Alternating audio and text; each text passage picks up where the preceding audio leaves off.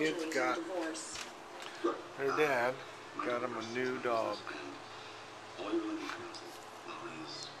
So they're out there. They tried to take it for a walk, but it's like a puppy, so it's not walking very good. Anyhow, pretty decent house this one. I would do some things to it, but you know, 250 grand. Somebody's with 250 grand. If anybody listens to these things, this is a good house. There's other ways to find it. Surely isn't the most efficient way is to go through all my videos and listen for when I say good house or not. But you can always call me. I'll let you know